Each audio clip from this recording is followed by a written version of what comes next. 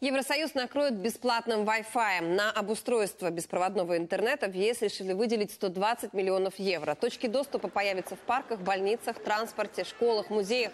На реализацию этих планов отвели всего лишь три года.